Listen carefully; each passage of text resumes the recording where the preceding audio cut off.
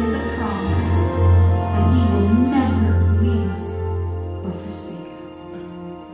So when you walk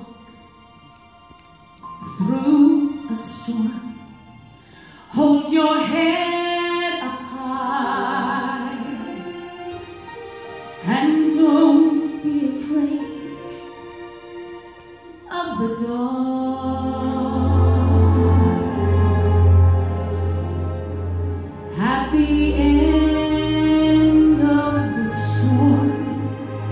is a call.